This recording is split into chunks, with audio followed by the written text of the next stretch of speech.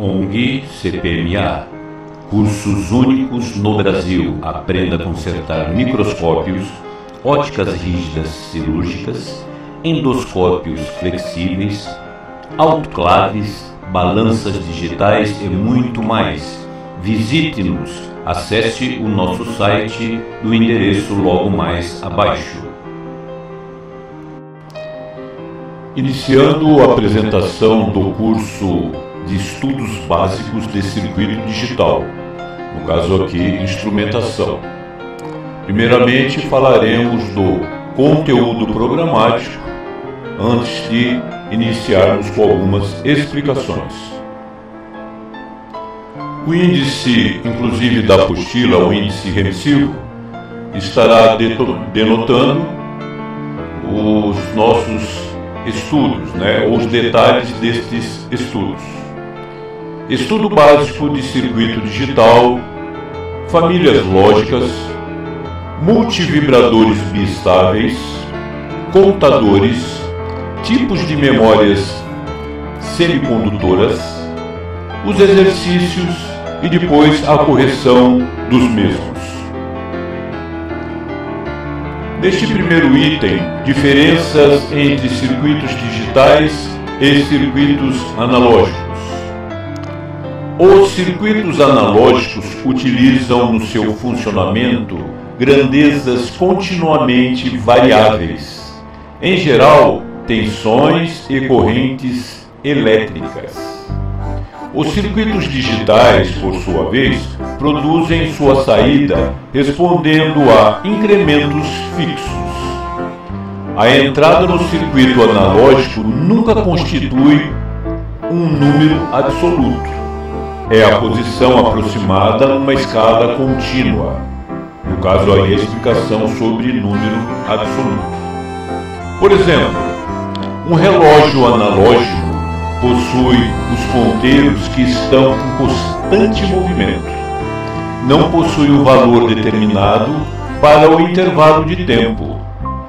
Um relógio digital tem sua indicação das horas através de números que mudam de intervalo em intervalo.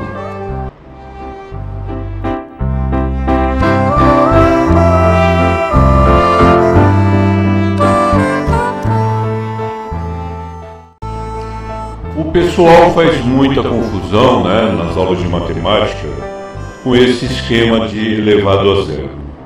Vou dar um exemplo simples. Tudo que eu elevo eu multiplico. Olha um exemplo simples. Eu tenho três laranjas, vezes três laranjas. Tenho três la laranjas na minha mão esquerda, vezes nenhuma laranja na mão direita. Quantas laranjas eu possuo? Continuo com as três. É? Mesma coisa aqui na, no cálculo de elevado ou multiplicado. É? Um número elevado a, a ele mesmo é ele. 1.2 da apostila. Sistemas de numeração.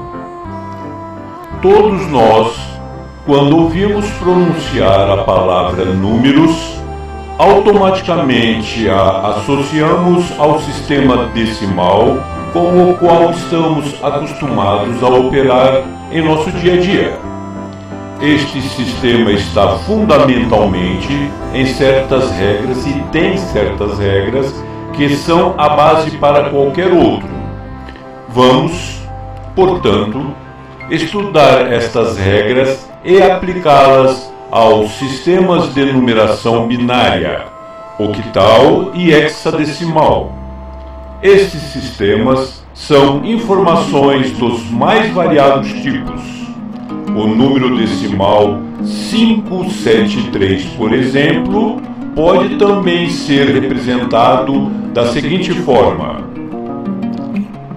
conforme a figura, 573 ou 573 é igual a 500, que é igual a 70 mais 3, ou 573 é igual a 5 vezes 10 elevado ao quadrado, mais 7 vezes 10 elevado a 1, que é ele mesmo, mais 3 vezes 10 elevado a zero. Vamos então fazer uma análise desta numeração e o porquê são iguais.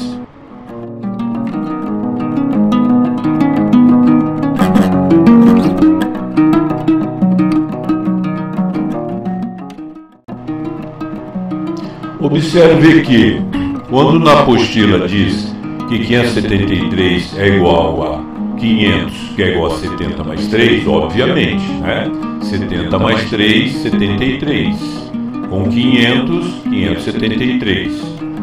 Ou 5 vezes 10 elevado a 2. Ou seja, 10 elevado ao quadrado é 10 vezes 10, ou 10 vezes ele mesmo. 10 vezes 10 são 100. 5 vezes 100, 500. 500 mais 7 elevado a 10 a 1, 7 elevado, 7 vezes 10 elevado a 1, 10 elevado a 1 é o 10 mesmo. 7 vezes 10 dá 70. Então vamos lá. 5 vezes 10 elevado ao quadrado dá 500. 7 vezes 10 elevado a 1 dá 70. 570 até o momento. Mais 3 vezes 10 elevado a zero. 10 elevado a zero é zero. Qualquer coisa, matematicamente falando, elevado a zero é zero. Mil elevado a zero é zero. Um milhão elevado a zero é zero. Elevou a zero, zera tudo. Então 3 vezes zero vai dar o próprio 3. Então, resumindo, 50 vezes 10 a 2, 500. 70 vezes 10, 7 vezes 10 a 1, 70. 570, 3 vezes 0, 3. 573. Esta é a analogia. Então, esta é uma outra forma de representar o número 573 conforme está na apostila.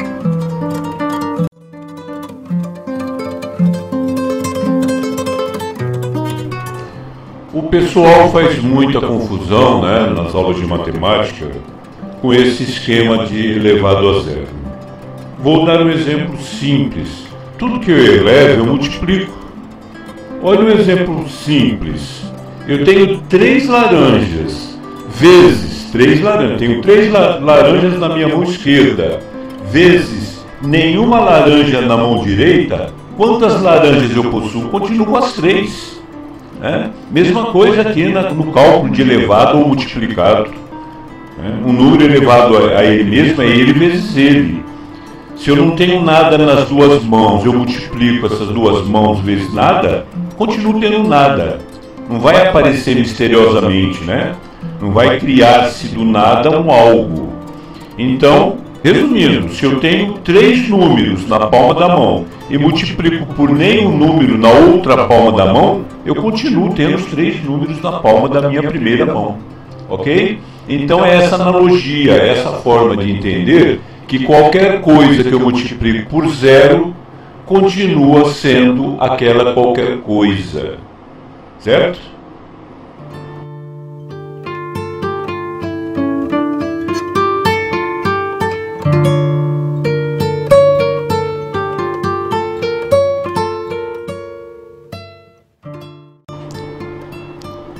Isto nos mostra que um dígito no sistema decimal tem, na realidade, dois significados.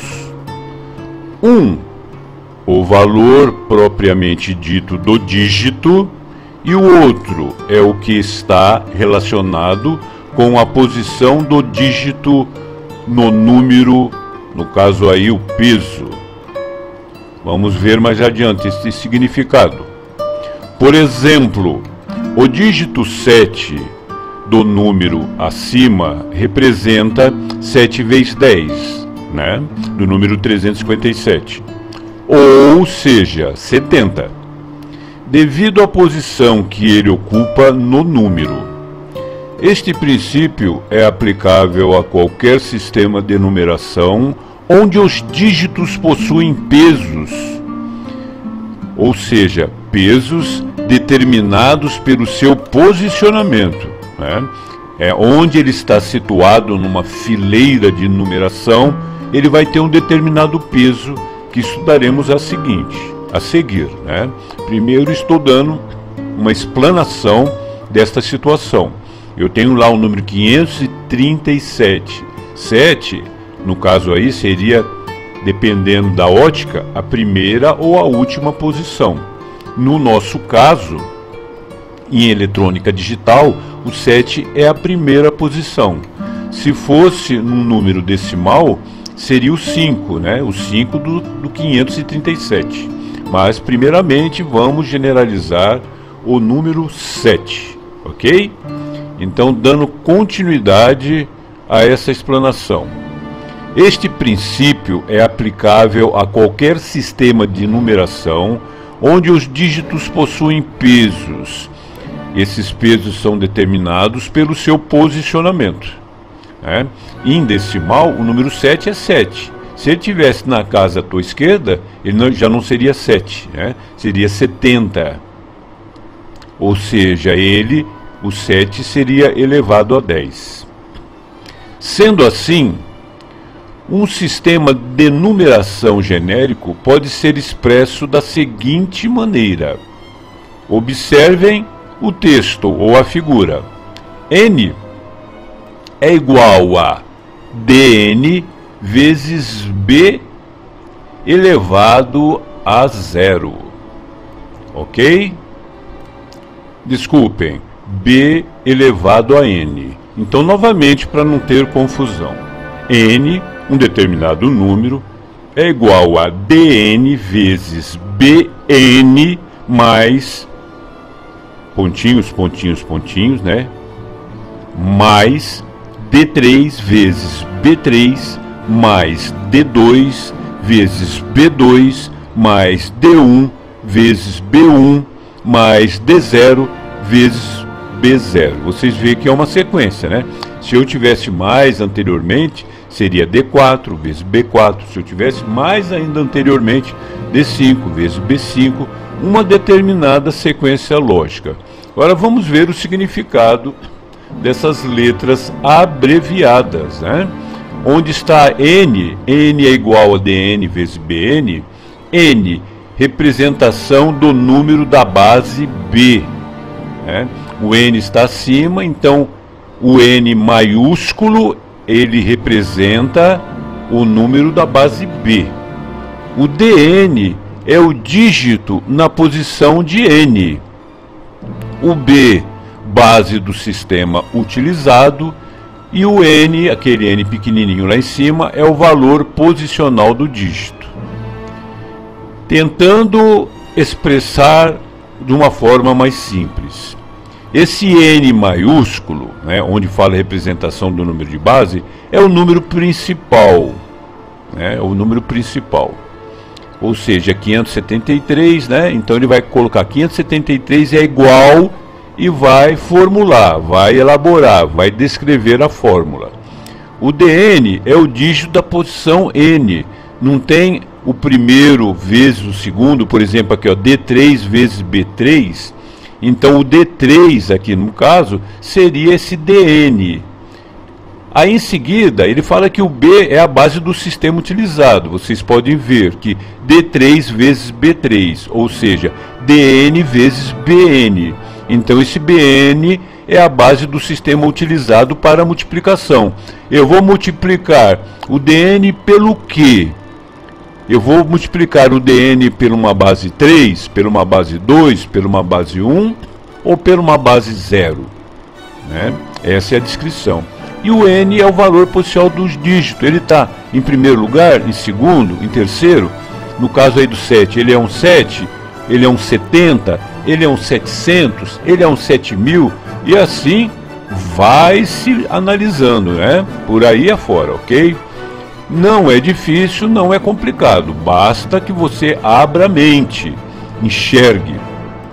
Tem muita gente que, quando eu expresso alguma formulação matemática, que eu também sou professor de matemática, o indivíduo o professor está entrando na sala de aula ou mencionando a palavra matemática, o indivíduo já fecha a mente. Ih, lá vem o professor de matemática, agora lascou tudo. Pronto, já deu o primeiro passo para não entender nada. Fechou a mente, fechou o coração para aquela, aquelas palavras, né? para aquele, aquele ensinamento. Calma, o professor nem entrou na sala de aula, você já está gorando, coitado? Então, para a matemática é necessário que você fique suave na nave, né? tranquilão, sem estresse, com a mente aberta e olhar para a fórmula e entender a fórmula. Que nem nesse caso aqui é algo bem simples. Vou dar muitos e muitos exemplos à frente, mas é necessário, primeiramente, que se obtenha este entendimento. Né? Dando prosseguimento à explicação. Na apostila ou no manual, o segmento é o seguinte: ele vai dar um exemplo. Por exemplo, o número 1587 no sistema decimal é representado como dois pontos, né? Ele vai dar um exemplo. N é igual a D3 vezes B3, B elevado a 3, mais D2 vezes B elevado a 2, mais D1 vezes B elevado a 1, mais D0 vezes B elevado a 0. Ok? Até, aí, até aqui tudo bem. Prosseguindo, 1587, você vê que eu troquei o N pelo valor, né? O N pela representação do número base. O que é o número base? O número primordial, o número ao qual vamos estar destrinchando, explodindo. Estou explodindo o equipamento. Peguei o equipamento lá, 1587. Então vamos pegar o primeiro dígito aqui no caso, da esquerda para a direita, que é o mil. Né? O que é o número mil? O mil nada mais é do que 1 vezes 10 a 3. O que é, de, o que é 10 a 3? É um 1, o dígito 1, seguido de 3 zeros. Esse 3 aí em cima, esse 3 exponencial, esse 3 que está acima do número, que é o seu expoente, significa a quantidade do número abaixo. Né? Então, 1 vezes, vezes 0 elevado a 3, ou seja, 1 seguido de 3 zeros. 1 seguido de 3 zeros é 1000. 1000 vezes 1, 1000. Ok? Mais 5 vezes 1 elevado de 1 seguido de 2 zeros, ou 10 a segunda. 10 a segunda é 10 vezes 10, que são igual a 100. Então, 5 vezes 100, 500. Fácil, né? Mais 8 vezes 10 elevado a 1. 10 elevado a 1 é 10 vezes 1. Né? 10 vezes 1, 10. 8 vezes 10, 80, mais 7. Lembra que qualquer número elevado a 0 é 0? Então, 7 vezes 0 é 7, continua sendo 7. Ok? Então, esta é uma das formas de apresentar o número 1587 do sistema decimal. Este é o sistema decimal, o número que usamos, a metodologia, o método que usamos no nosso dia a dia. É? Isso aqui é uma explicação da numeração explodida. É?